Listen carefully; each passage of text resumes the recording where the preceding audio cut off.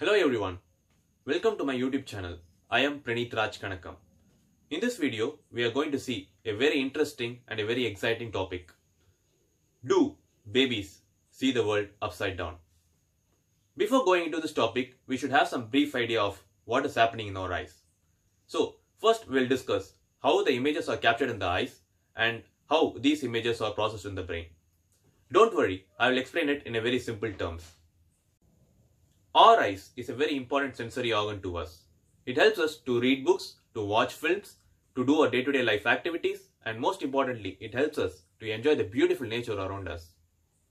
The principle by which our eyes, as well as the camera, be it the analog camera or the digital camera, the working of both are almost the same. It was in the 17th century, Descartes, a French scientist and a philosopher, he proved that the images captured by our eyes are actually inverted images. In his experiment, he used the eye of a dead cow. He first removed the eyes of the cow and made the required setup for his experiment. He observed that the image that appeared on the screen placed on the back of the eye is an inverted image. Cameras also work on a similar principle. So, the images captured by your cameras are inverted images. So why do the image captured on the Descartes experiment gets inverted? Or why do the image captured by your eyes gets inverted? This is due to refraction. Refraction is nothing but the bending of light when light rays enters from one medium to another medium. We'll say a very simple example. A glass filled with water and a pencil half submerged in it. The pencil appeared to be bent. Here in this case, the light rays travels from one medium that is the water to another medium, air. This causes the bending effect. Similarly, in our eyes too, the similar thing happens. The light rays enters from the air and it enters into our eye and this causes refraction.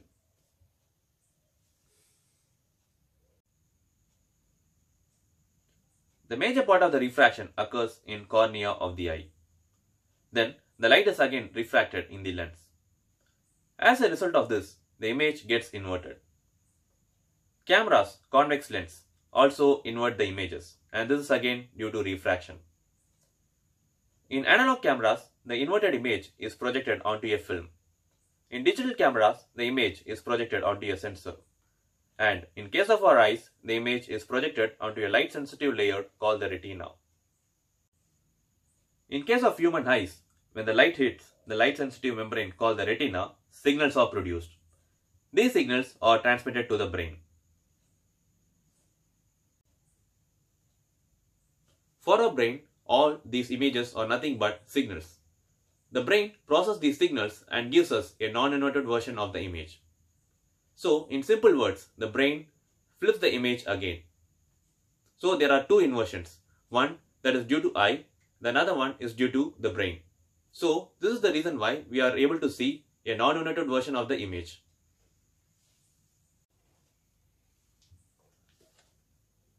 Though eye acts as a sensor in receiving the image, we see things based on how the brain processes the signals.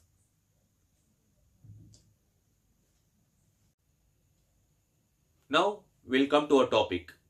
Do babies see an upside down world?